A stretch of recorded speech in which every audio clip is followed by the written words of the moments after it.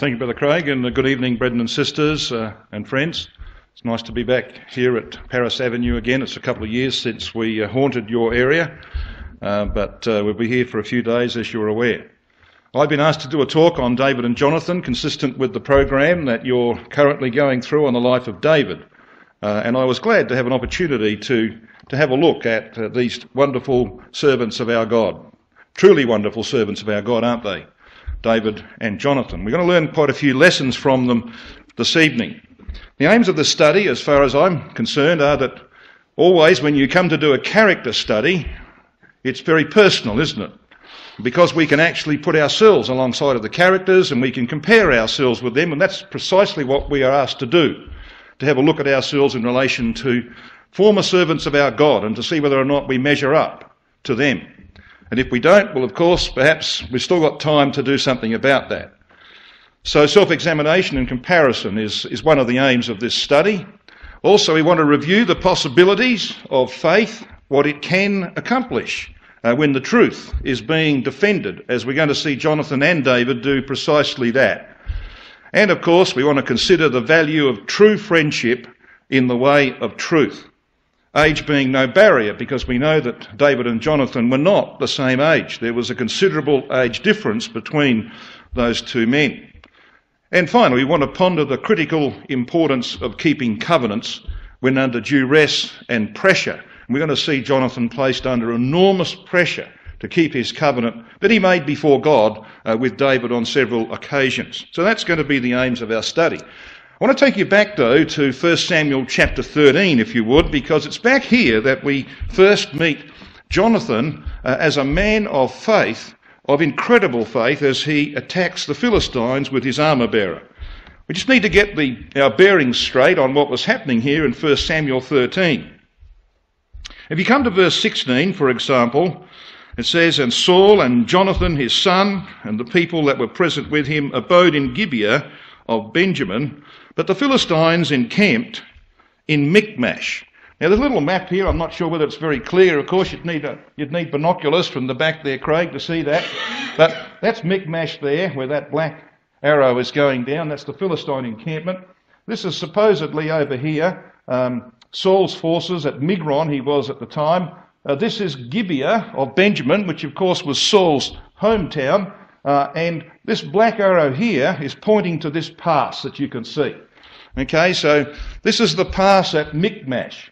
And we read certain things about uh, this, uh, this place in the record. Have a look at verse 23 of 1 Samuel 13. It says this And the garrison of the Philistines went out to the passage of Michmash. So the Philistines had their encampment here uh, at Michmash, but about a half a mile to the south uh, of uh, Michmash was this pass.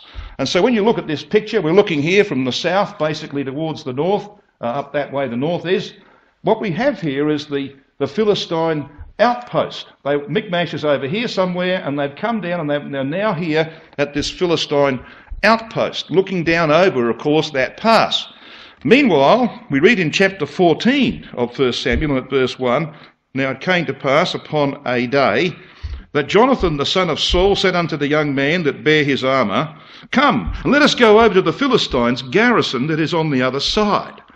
But he told not his father. Now the Philistine garrison, of course, is over here, and the outpost here, and here is Jonathan and his armour bearer. They're on the other side of this pass. So that's the, that's the story. Now, of course, we know that there was something quite awful in Israel in terms of defending uh, the, the land against the Philistines, because at the end of chapter 13, I'm not going to read all of these verses, but if you were to scan down from verse 19 to 22, you will find that there was virtually no weapons in Israel at that time. There were only two swords. One belonged to Saul, and the other belonged to Jonathan. Now, that's not a very uh, big armoury, is it, in order to defend yourself against the Philistines? The Philistines had made sure of that. They'd, they'd got rid of all the blacksmiths out of Israel. You wanted to sharpen any kind of tool, you had to go down to the land of the Philistines to do it. And so they had kept an iron grip, you might say, on Israel uh, by that means. So this is a bit of background of what happens here in chapter 14, because chapter 14 of 1 Samuel records an incredible act of faith by Jonathan and his armour bearer. Now we read in verse 1, at the end of the verse, the last sentence says, But he told not his father. I wonder why he didn't tell Saul. Have a look at verse 3, end of the verse, the last sentence. And the people knew not that Jonathan was gone. Have a look at verse 7. And his armour bearer said unto him, Do all that is in thine heart, turn thee, behold, I am with thee according to thy heart. There's just two of them there. Just Jonathan and his armour bearer. So why didn't he tell Saul what he was doing? Saul was somewhere up over the way here in that map. He was up over the way uh, at Migron, and he was looking out over Michmash. But Jonathan's down at the pass, and he's looking over at the Philistine outpost. He says, "The time's come. The time has come for us to deal with the enemies of Israel." Well, why wouldn't you call Saul? You know, he's got three thousand men up there. You know, so why wouldn't you call him? Jonathan did not see the faith in Israel that was required to deal with the problem of the Philistines. Why was it there were only two swords? Why was it that they're under the heel of the Philistines? Because his father had not got up and done something about it. That's what it, why Jonathan doesn't tell his father. You know, you have a, a, a read later on in this uh, chapter, you have a look at verse 17 when it finally dawns on Saul that something's happening, verse 17 says, Then Saul said unto the people that were with him, Number now and see who has gone from us. And when they had numbered, behold, Jonathan and his armour bearer were not there. So it's just these two men. Now have a look what they do. They expose themselves to danger. They come down from that pass, they cross over to the other side, and they stand at the bottom of it. And they look up at the Philistines, and in verse 8 we read this Then said Jonathan, Behold, we will pass over unto these men, and we will discover ourselves unto them. If they say thus unto us, Tarry until we come to you, then we will stand still in our place, and will not go up unto them. Now think about that, brethren and sisters, and young people. I see there's a few young people in this hall. Think about that. What do you reckon their answer's going to be? When you say to the Philistines, they're up there, they've got the dominant position, they're looking down on you. Look, uh, we, if, we'll say to them, look, uh, uh, you come down to us. If, if that's what they say, we'll come down, you, they'll come down to us. Well, of course they're, they're not going to say that. That's ridiculous, isn't it? If you're up there, you're not going to say, look, hang on, you wait down there and we'll come down, we'll clamber down and expose ourselves to danger. You're not going to do that. Look at the next verse, verse 10. But if they say thus, come up unto us, then we will go up. Well, of course that's what they're going to say, aren't they? You come up, you clamber up the cliff, and while you're doing that, we'll be ready to pounce on you when you arrive, and you'll be puffed out when you get here. See? That's what they're going to say, of course. But look what he says at the end of verse 10. He says, For Yahweh hath delivered them into our hand, and this shall be a sign unto us. Now that's faith, isn't it? He did not take the easy course. He took the hard course. And he said, if that's what they say, then we will know God is with us. You reckon God's going to let him down? Of course not. He doesn't let men of faith like that down. And so we read in verse 11, and both of them discovered themselves to the garrison of the Philistines, and the Philistines said, Behold, the Hebrews come forth out of the holes where they had hid themselves. And the men of the garrison answered Jonathan and his armour bearer and said, Come up to us, and we will show you a thing or two. And Jonathan said unto his armour bearer, Look, we've got a sign. Let's go. Yahweh will be with us. Now that is incredible faith. And verses 13 to 16, of course, tell us that faith triumphs uh, despite the mortal danger into which they place themselves. Verse 13 says, And Jonathan climbed up upon his hands and upon his feet, and his armour bearer after him. Think about that hands and feet. This is about climbing up the rocks, you know, and they're, they're climbing over rocks. They are in mortal danger. But when they get to the top, they clean up the Philistines good and proper. And we read, his armour bearer slew after him, verse end of verse 13. And that first slaughter which Jonathan and his armour bearer made was about 20 men, within, as it were, a half an acre of land. And there was a trembling in the host, says verse 15, in the field among all the people. And the garrison, the spoilers, and they also trembled. And God intervened, and the earth quaked. There was an earthquake. So it was a very great trembling, and the watchmen of Saul and Gibeah of Benjamin knew that was something going on.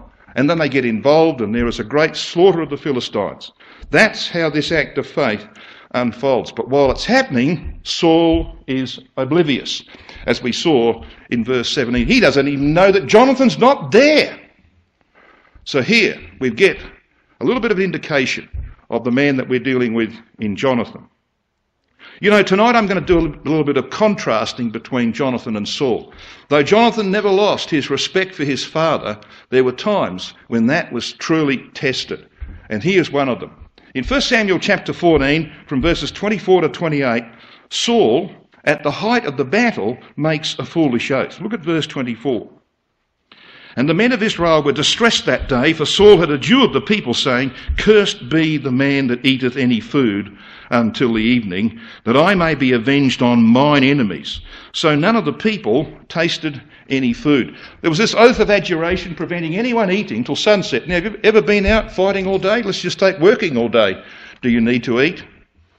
Particularly if you're fighting, do you need to eat? Well, of course you do. Now, how foolish is that? This, this word here in verse 24, adjured, is about putting under an oath or a curse. This is about life and death. It was a despotic oath with a focus on Saul himself, that I may be avenged of my enemy. What about the enemies of Israel? What about the enemies of God? You know, Saul was self focused. Jonathan was the exact opposite of that. In verse 26, the people feared the oath because they heard it, but Jonathan didn't hear it. In verse 27, Jonathan heard not when his father charged the people with the oath, wherefore he put forth the end of the rod that was in his hand when they came across this, this uh, natural honeycomb where the, the wild bees had collected honey and it was, there was so much there it was dripping out. None of the people touched it because they'd heard the oath. Jonathan had not heard it. He comes along, he puts his staff in, puts it to his mouth, and his eyes are lightened up. And he says, That would be terrific, wouldn't it? If that had happened to everyone when he finds out a little later on that his father has laid an oath on the people. Verse 28 Then answered one of the people and said, Thy father straitly charged the people with an oath, saying, Cursed be the man that eateth any food this day. And the people were faint. So what does Jonathan do? Well, he declares the folly of Saul's hasty oath. In verse 29, he says, My father hath troubled the land. See, I pray you, how mine eyes have been enlightened, because I tasted little of this honey. How much more, if haply the people had eaten freely today of the spoil of their enemies which they found? For had there not now been a much greater slaughter among the Philistines? That was his interest, getting rid of the enemies of the truth the enemies of Israel. It wasn't about him. Saul's oath was about him. Jonathan was interested in defending the ecclesia.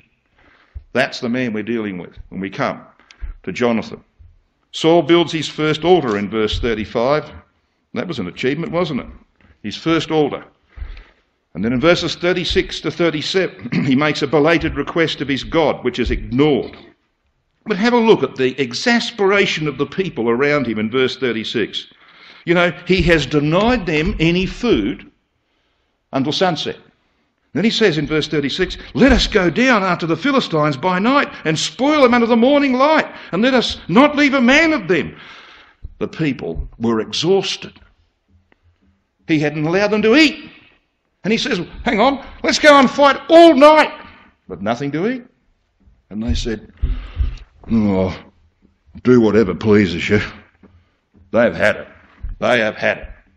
There's a sense of exasperation about this people. And the same, of course, in verse 39. When Saul realizes there's something wrong here, there's something seriously wrong because God had not answered him, and the oath breaker has to be exposed, he realizes that there is an issue. And verse 39 For as Yahweh liveth, he said, which saved Israel, though it be in Jonathan my son, he shall surely die. But there was not a man among all the people that answered him. They again show their exasperation with their new king. In verses 43 to 46, the people saved Jonathan on the grounds that God had worked through him to save Israel from the Philistines. And so Saul's oath of adjuration is broken. His foolish oath is left unfulfilled. Did that start the rot? Because you know, Saul broke every single oath he made from here on. He only ever kept one oath in his life. You know that one? The one he made to the witch of Endor. He didn't have time to break that because he was dead the next day. He never kept any other oath in all of his life. That's Saul, the father of Jonathan. Jonathan is the absolute antithesis of his father.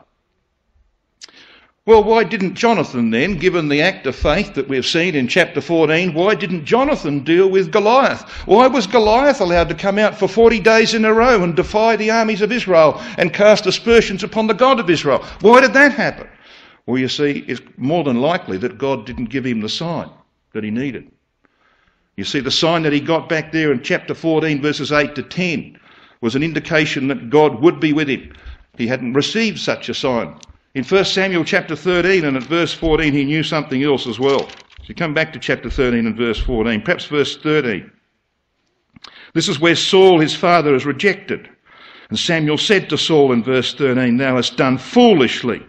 Thou hast not kept the commandment of Yahweh thy God, which, which he commanded thee. For now would Yahweh have established thy kingdom upon Israel forever. But now thy kingdom shall not continue, because God has sought him a man after his own heart you know who's listening on to that?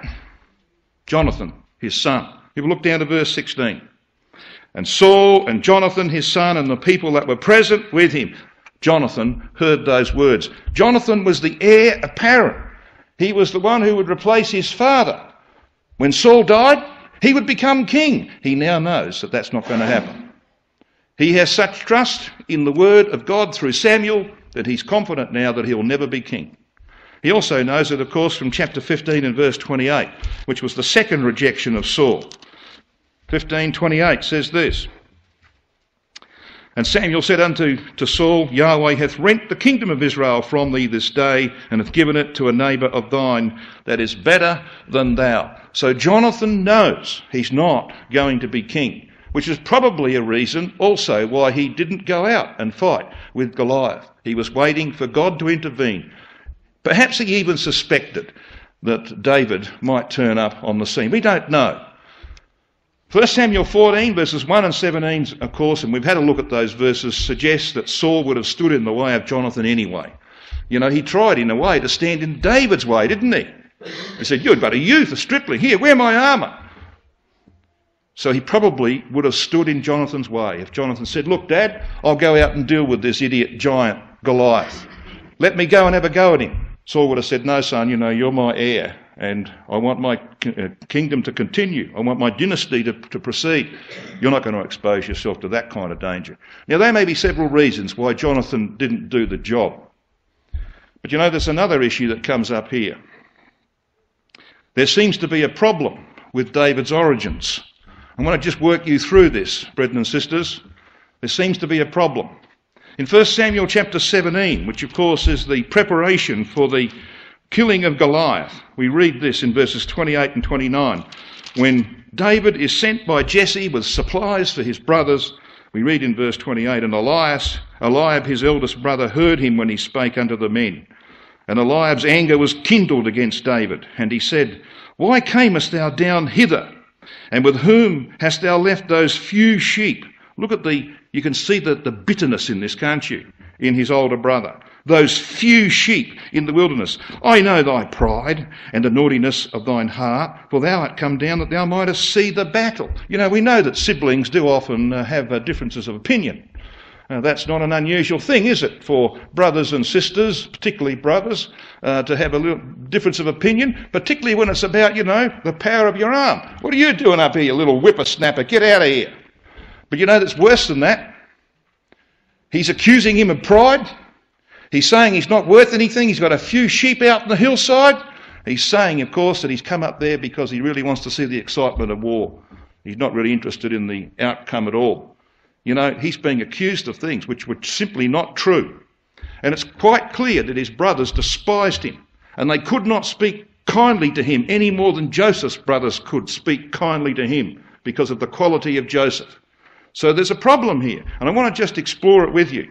In 1 Samuel chapter 17 and verse 55, we read, we read this. Verse 55 says that when Saul saw David go forth against the Philistine, he said unto Abner, the captain of the host, Abner, whose son is this youth? And Abner said, As thy soul liveth, O king, I cannot tell. Well, he said, You better find out. Verse 56. And the king said, Inquire thou whose son the stripling is. Now, hang on, let's just pause for a second. Didn't Saul know David? Well, of course he did. Just come back to chapter 16. 1 Samuel 16, verses 19 to 23. Having been counselled that he needed a man who could play well, someone piped up with the name David, the Bethlehemite. And in verse 19 we read this Wherefore Saul sent messengers unto Jesse and said, Send me David thy son, which is with the sheep. And Jesse took an ass and sent it off with David. Verse 21 David came to Saul and stood before him, and he loved him greatly. And he became his armour bearer. And Saul sent to Jesse, saying, Look, can you leave your boy here a bit longer? And he, he, uh, he found favour. He's found favour at my side. I want him to stay and stand before me. So, of course, Saul knew who David was. He'd had him in his court. So, what's chapter 17 and verses 55 uh, and 56 about? Well, it's about his origins. You see, Saul had made a promise. And the promise was, and we read it back there in, in chapter 17, that the man who kills Goliath will have Merab, my oldest daughter, to wife. Now, most brethren in this hall who have daughters to marry off do have some concerns about who their daughter's going to marry. I had three daughters, and some of my concerns have been realised. So, you know, you do have concerns about who your daughter's marry, don't you? And here is a king. Here's a man in purple. Here's a man in a palace, so to speak. Now, here's a man of notoriety. And he wonders what kind of family he's going to have to marry his daughter into. So he's not talking about finding out about David. He wants to know whose son this stripling is. He wants to know the family status. What sort of bank balance they've got. What kind of reputation they've got. That's what he wants to know. So he sends Abner out to find that information. Now, why is he asking that? Well, you see, he might have some suspicions. And those suspicions are realised when Abner comes back with the news. Verse 57 of chapter 17. And as David returned from the slaughter of the Philistine, Abner took him and brought him before Saul with the head of the Philistine in his hand, before he took it to Jerusalem, of course, and said, Saul said to him, Look, uh, David, whose son are you? And David answered, I am the son of thy servant Jesse the Bethlehemite. And you know, things changed after that. We know that Jesse had eight sons. There are just seven mentioned in the first of Chronicles chapter 2. Probably one had died before Jesse himself. He had eight sons, and the last of those eight sons uh, was David. But in, in 1 Samuel 17:12, you read this about Jesse It says, Now David was the son of that Ephrathite of Bethlehem, Judah, whose name was Jesse, and he had eight sons. And the man went among men for an old man in the days of Saul. Why do you reckon that's on the end there? Every man gets old, don't they? It's inevitable. So why is that on there? Well, it's telling us something. Jesse was a very old man. In other words, he had no influence in the nation, and you know what? He didn't have much influence in his family either. We're going to find that out. Things were happening in his family, probably behind, well, obviously behind his back. And very sad things had happened, we believe, in Jesse's family, which, which brought some kind of shadow across the reputation of David, as we're going to find out. Because you see, David is a wonderful type of our Lord Jesus Christ, as was, of course, Isaac, the son of Abraham. You know what they accused, what uh, Ishmael accused Isaac of? He said, You're not the son of Abraham. You're the son of Abimelech. You were born of fornication. You know what they accused the Lord Jesus Christ of, brethren and sisters? We be not born of fornication, they said in John 8 41. They accused him of being born of. We've heard about your mother. Yeah. She was with child before she got married. We've heard about that. See? I believe exactly the same thing happened in the case of David. And I want to just take you through that. You know, in 1 Samuel 18, verse 2, we read something very, very interesting. It says this, second verse of chapter 18. And Saul took him that day and would let him go no more home to his father's house. Well, why not? He said to David, You're not going home. I don't want my family to be identified with your family. If you have to marry my daughter, and that was his intention at this stage, of course, we know what happened in the end. His intention was that David would take the hand of Merab in marriage. You're not going home. I don't want you to be seen to be associated with that family back there in Bethlehem. So you see, there must be reasons. His, his impending connection with Jesse's house is a cause of disgust to Saul. Why? Well, there were scandals in Jesse's family. That's why. Two of them. Scandals. Now, we wouldn't have scandals in our brotherhood, would we, today? Yes, it's happening today. And it's happened all through history. Even in some of the better families in our community, it happens. Now, I put that up there on the, on the screen behind me. There are two passages there. There's 2 Samuel 17, verse 25, and there's 1 Chronicles chapter 2, verses 15 to 17. And the reason I've got them up there is because I want you to make some comparisons and you're going to see some contrasts. Now, you notice the words we've highlighted. This is, these two verses are essentially about the origins of, of Amasa. And Absalom made Amasa captain of the host instead of Joab. And tells us that this man uh, he, he was a man's son whose name was Ithra, an Israelite, that went in to Abigail, the daughter of Nahash, sister to Zeruiah, Joab's mother. Okay, got the story? First Chronicles chapter 2, however, says David was the seventh son of Jesse, whose sisters were Zeruiah and Abigail, and the sons of Zeruiah, Abishai uh, and Joab and Asahel were three. And Abigail bare Amasa, so here he is, and the father of Amasa was Jether the Ishmaelite. Now, the first thing we need to understand is that Ithra is a contraction of Jether. It's the same individual, the same name. They're next door in Strong's Concordance, in the Hebrew Concordance, okay? Same person. So, why the difference? Why does it call him an Israelite up here? Well, that's probably one of those, uh, you know, corrections that have been made by copyists at some point. Why would you want to say that a man's an Israelite anyway? I mean, in this hall, do I need to say you're a Christadelphian? You don't need to say that, do you? We know that if you're in this hall, you're probably going to be a Christadelphian. So you wouldn't say that. The record of Chronicles actually tells us that this Jetha or Ithra was an Ishmaelite. And he probably wasn't a terribly uh, moral Ishmaelite. You know why? It says he went in to Abigail it means he seduced her. He went in to Abigail. Doesn't say he took her to wife. He went into her. So there was a scandal involved in the birth of this Amasa. And she is said to be the daughter of Nahash. But hang on, hang on a minute. Second, First Chronicles 2, 15 and 17 says that David was the, was the seventh. In fact, he was the eighth. Probably one of the sons had died. He was the seventh son of Jesse, and his sisters were Zeruiah and Abigail. Now, if they were David's sisters and his father was Jesse, well, then who is the father of these two girls? Well, Jesse, isn't he? Well, he's not. He's not the father of Abigail, because it says Abigail, the daughter of Nahash.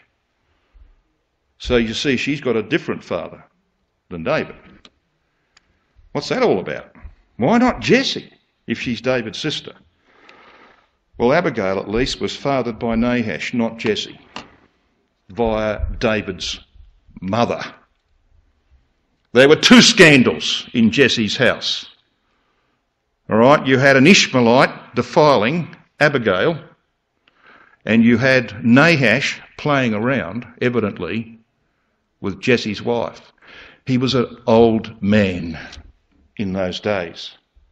All right? Probably not up to the job of no- noticing what was really going on behind his back. That's how I read that, brothers and sisters. So that's probably the reason why, when Saul found out about this, he says, You're not going home, David. You're not going home. I'm not going to have my son in law associated with a family like that. You know that Saul was a Judaizer? He tried to get rid of witches. He even tried to kill off Gibeonites, didn't he? Why did he do that? Well, he did it out of zeal for Israel. Yes, that's the kind of zeal he had. Why wasn't David invited, do you think, to the feast in 1 Samuel chapter 16? I want you to come back to chapter 16.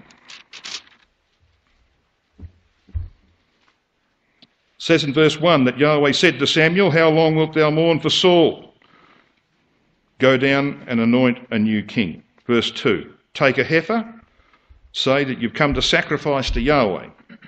Verse 3 and called Jesse to the sacrifice, and I will show thee what thou shalt do, and thou shalt anoint unto me him whom I name unto thee. So he did that. And he comes to Bethlehem.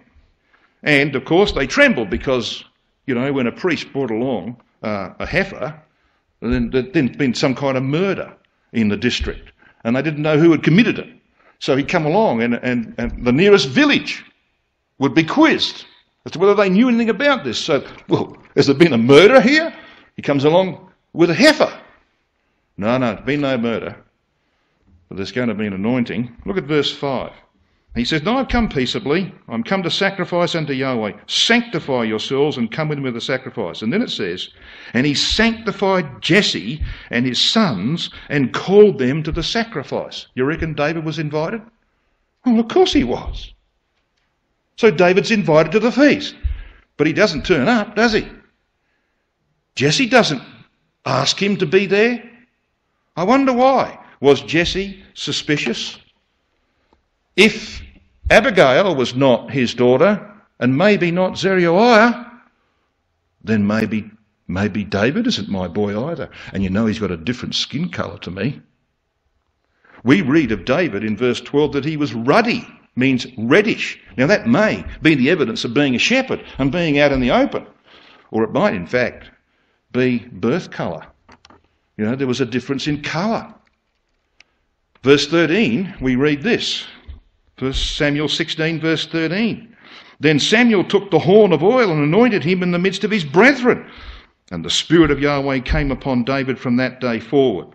So Samuel rose up and went to Ramah. So finally, as we know, David is called in after he's gone through the, the other boys, and none of them, none of them are favoured by Yahweh. He says, Jesse, didn't I? Didn't I say bring all your sons? Well, yes. Well, have you got another one somewhere?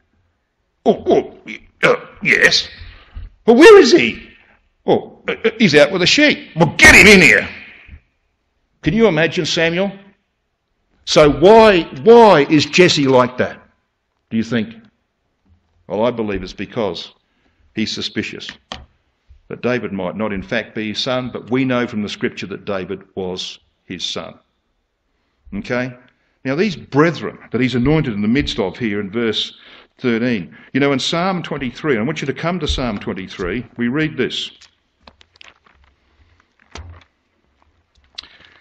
I believe we read about his brothers, you know, the ones that upbraided him when he arrived at the battle in the valley of Elah.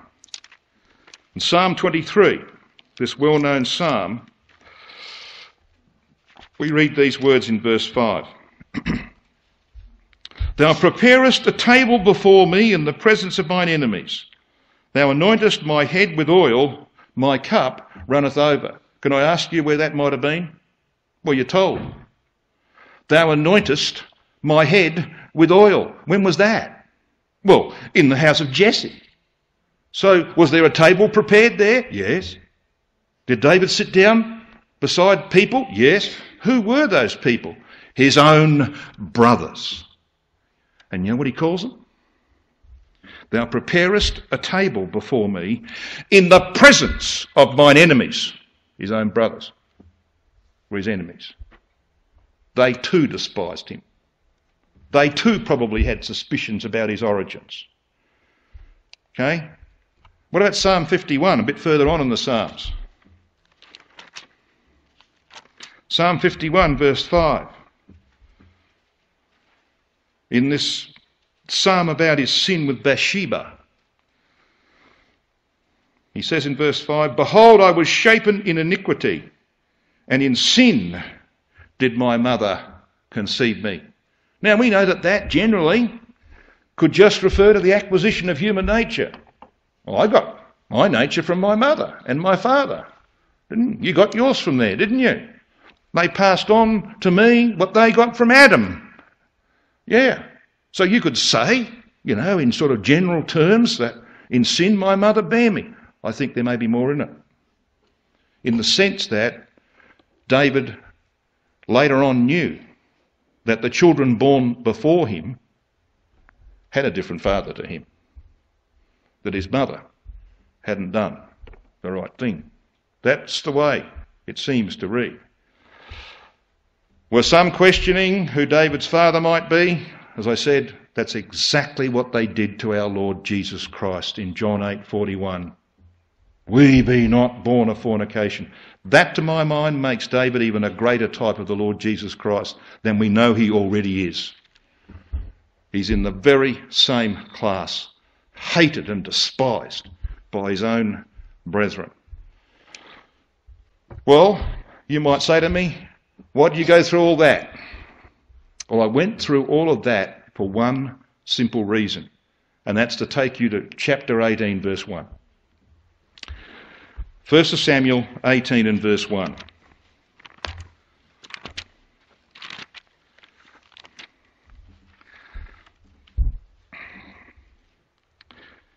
It came to pass when he had made an end, that's when David had made an end of speaking unto Saul, that the soul of Jonathan was knit with the soul of David, and Jonathan loved him as his own soul.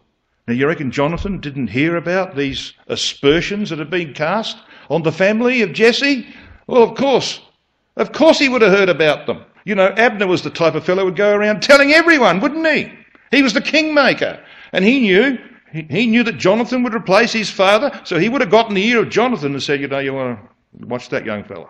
You know, he belongs to a pretty ugly family.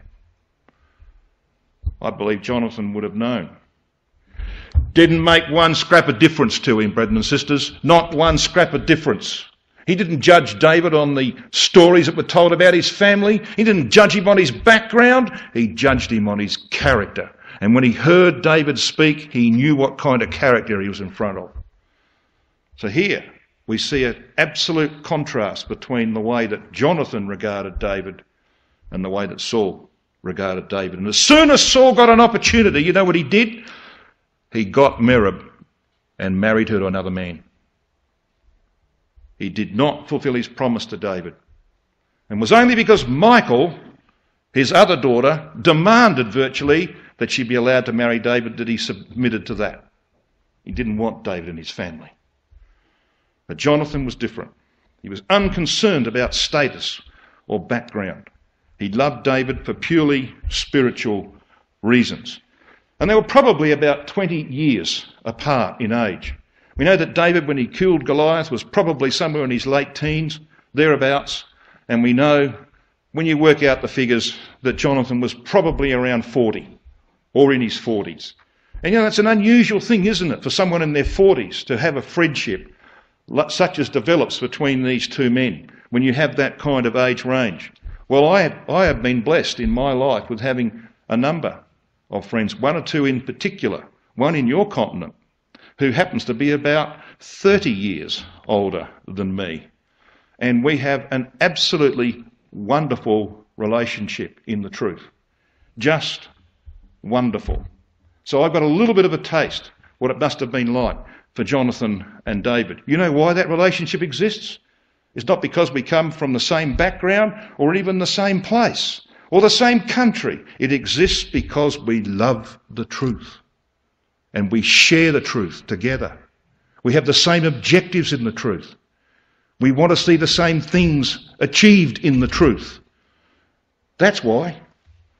It comes from the love of God and the love of the truth. Three times it's stated that Jonathan loved David as his own soul. You know, I, I hesitate to mention this I don't know whether I should mention it, brethren and sisters.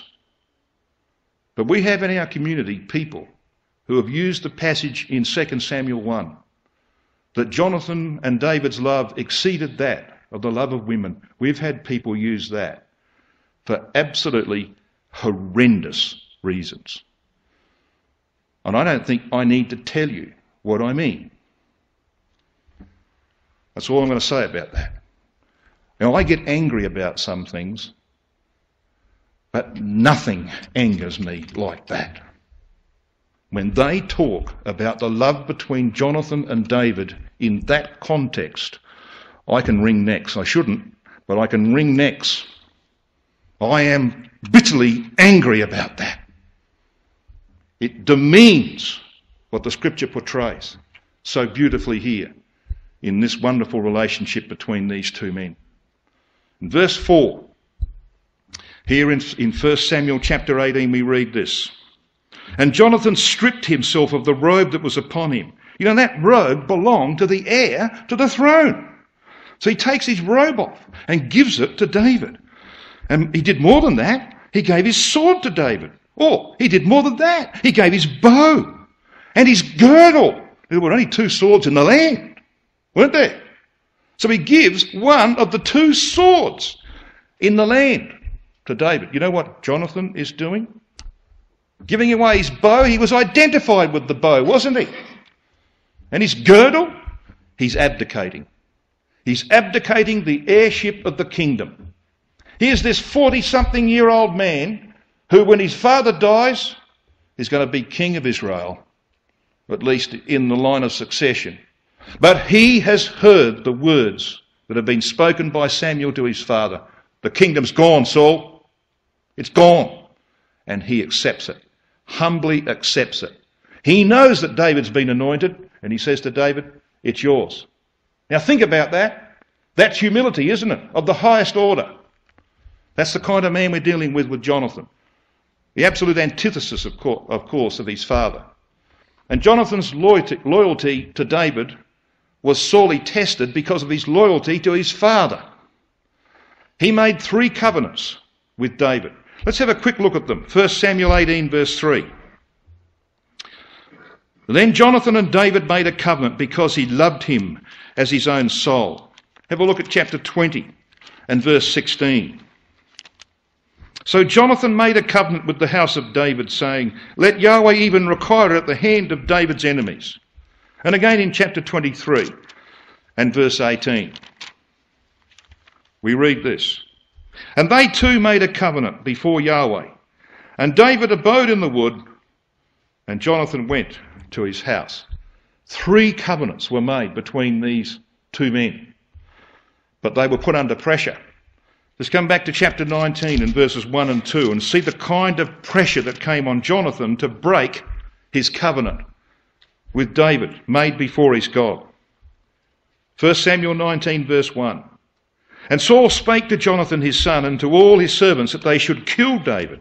You see, Saul speaks to Jonathan, his son. And he says, I want you to go out and kill your friend. Now, how is Jonathan going to respond to this? Verse 2.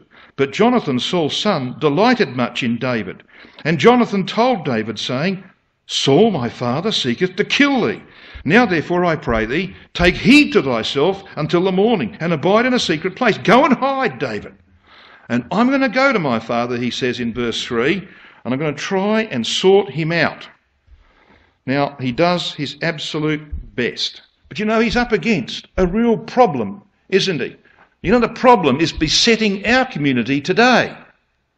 It's the problem of blood being thicker than water. Do I need to spell that one out? I mean, even you, you know, in this country, you understand that better than what we understand in Australia. Every, every nation on earth, every Christadelphian ecclesia on earth has to wrestle with that problem. When you come to deal with issues in the ecclesia, all too often blood proves to be thicker than the water of the Word of God.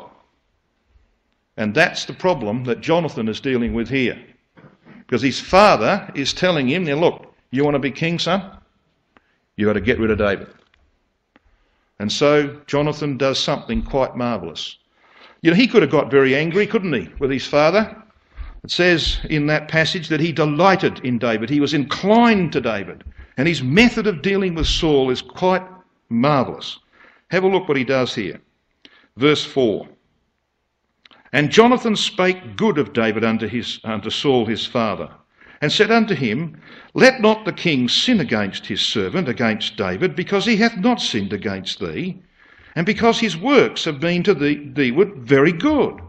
He even put his life in his hand. He slew the Philistine, and Yahweh wrought a great salvation for all Israel. Thou sawest it, and didst rejoice. Wherefore then wilt thou sin against innocent blood? to slay David without a cause. Now, he could have said to his father, Listen, get your act together, Dad. You're an idiot. He could have done that, couldn't he?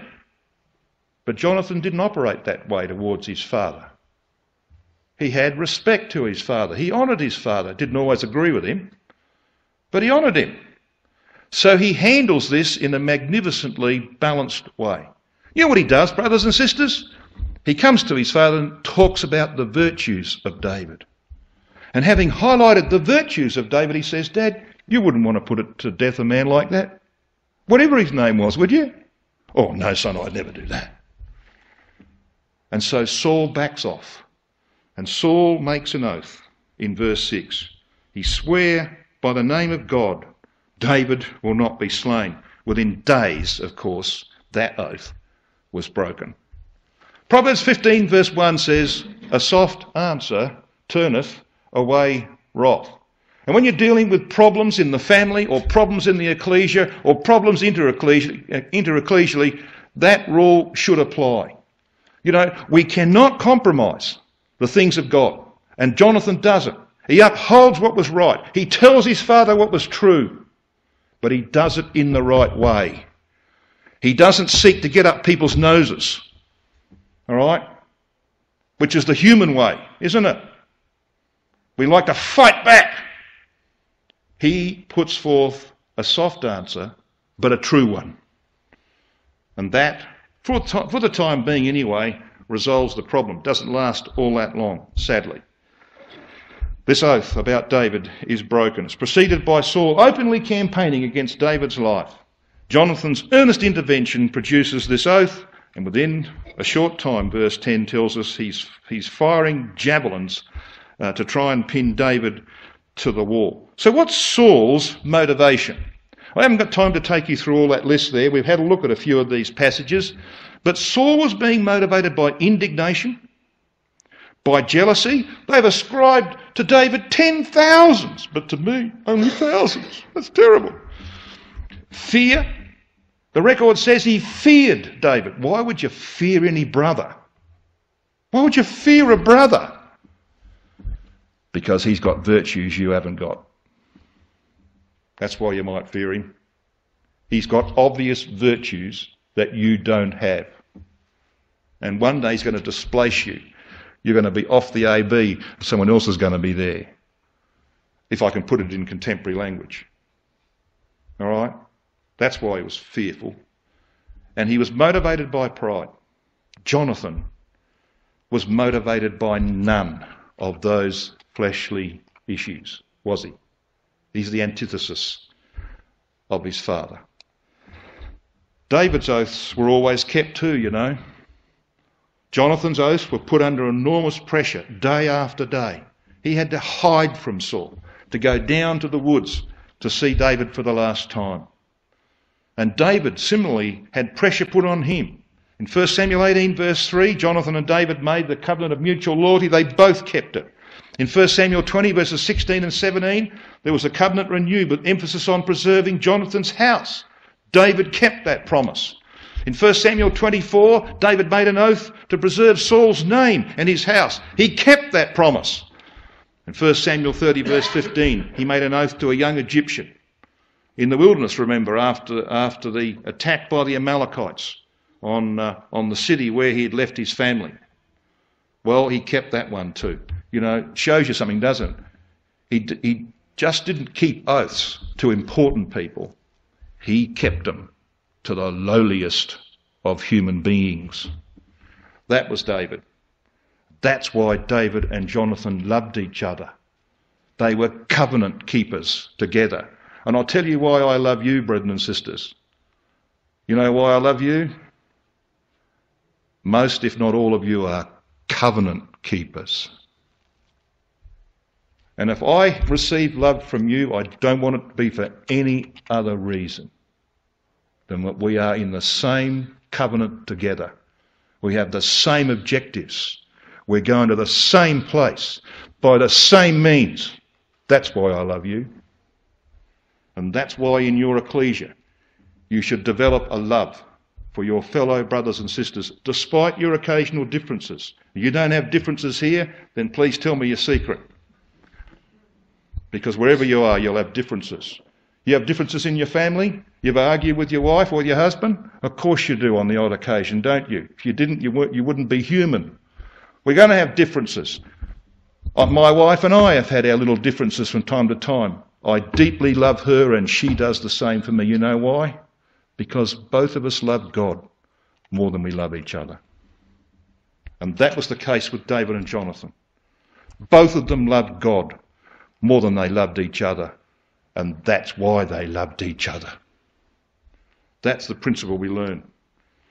Jonathan, you know, was a true bow. I want to come to 2 Samuel because after his death, his, his tragic death, David wrote one of his many songs. 2 Samuel chapter 1 and verse 17 through 27. He writes this song called The Bow. We read in verse 17 And David lamented with his lamentation over Saul and over Jonathan his son. Also, he bade them teach the children of Judah the use of the bow. Well, the words the use of are in italics, they can be crossed out. They're not there in the original text. He, he bade them, he, te- he taught them this song called The Bow. Behold, it is written in the book of Jasher. So he composed this lament for Jonathan and for Saul called The Bow. It memorializes Jonathan's character as well as that of the author David. There was no sense of relief in the death of Saul. He doesn't say in this song, Oh boy, I spent 10 years running away from him. He wanted to butcher me. I'm glad he's gone. I'm glad he's left the ecclesia. Never said that. He lamented him. You know why? Because sadly he knew that Saul had done his dash. It's not going to be good for him at the judgment seat of Christ. David mourned over that. He lamented Jonathan because he'd lost a great friend. In verse 22, we read this From the blood of the slain, from the fat of the mighty, the bow of Jonathan turned not back, and the sword of Saul returned not empty. You know why the bow of Jonathan turned not back? Well, it wasn't a deceitful bow. The bow represents his character. I want you to have a look at Psalm 78 and verse 57. Psalm 78.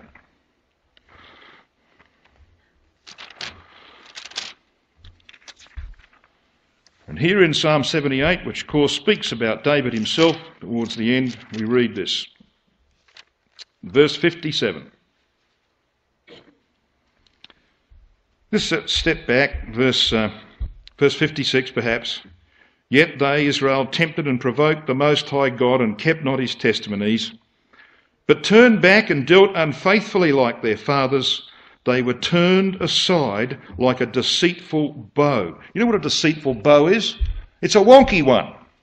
And if you're going to have a bow that fires arrows straight, then it has to be a straight bow. I mean, if it's all wonky, when you go to pull it, one end pulls down harder than the other, or whatever, the arrow goes all over the place.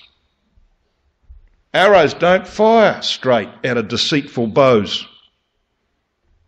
This man, Jonathan, was a true bow. When he fired arrows, so to speak, and that represents teaching, you know, when you speak, the scripture says it's like firing an arrow. When he fired arrows, they went straight. Why? Because he was a straight man. He was not a deceitful bow. Have a look at Hosea 7 and verse 16.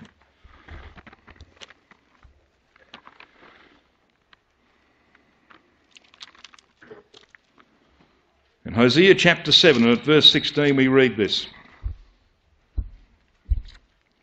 They returned, but not to the Most High. They are like a deceitful bow. Their princes shall fall by the sword for the rage of their tongue. This shall be their derision in the land of Egypt. Israel was like that through their entire history. You know what Hosea does? It likens the nation of Israel to their first king. They could not keep covenant. They were crooked bows, but not Jonathan. He was different. And so we conclude in those words of 2 Samuel chapter 1 and verse 26 that, that Jonathan and David's love was wonderful. The word means to be marvellous. It's pala. Pala means to distinguish something, to separate by distinguishing. That's what that love was like. It was unique. Unique to Christadelphians. You don't get that kind of love without the bonds of the truth. But when you have it, brothers and sisters, when you have it can even exceed that of the love of women. So, what's our final piece of advice based upon the characters we've considered tonight? Value and honour your friends in the way of truth. Always esteeming others better than yourselves, and you show that by what you do to get them into the kingdom. And make sure that you keep your covenants, firstly with your God, and with those whom you love in the truth, and with the least of men.